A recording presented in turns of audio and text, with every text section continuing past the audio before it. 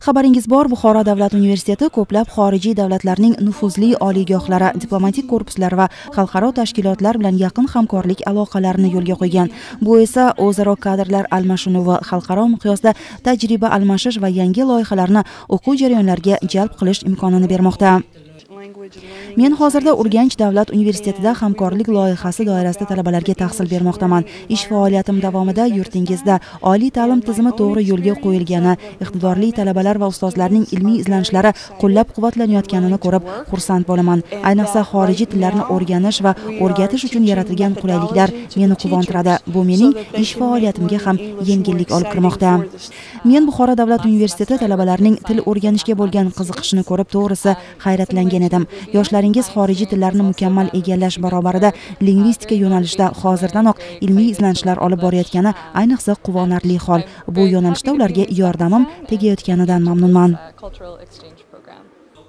Mazkur hamkorlik aloqalari bugun nafaqat ta'lim jarayonlari balki tilshunoslikning dolzarb muammolarini o'rganish va hal etishda ham muhim ahamiyat kasb etmoqda.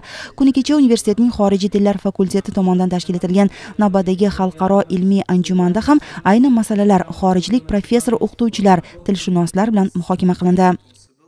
Buxoro davlat universitetining amerika elchixonasi va amerika konsulligi o'zbekistondagi britaniya konsulligi bilan bir necha yillik aloqalari hamkorlik aloqalari yaxshi yo'lga qo'yilgan. Mana necha yillardirki e, o'n yillardan oshdi desak ham mubolag'a bo'lmaydi. Buxoro davlat universiteti amerika elchixonasining access e, kichik mikrodastur e, doirasida ajratiladigan grantlarni olib o'sha grant doirasida yosh bolalarga o'n besh o'n sakkiz yoshli bolalarga xorij tillarini o'rgatishni yaxshi yo'lga qo'ygan.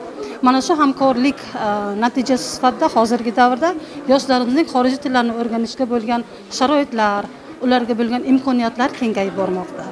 Anjumanda bir qator ma'ruzalar tinglanib ingliz adabiyotshunosligi lingvistika rivoji va til o'rganishning boshqa dolzarb masalalarida o'zaro fikr almashindi.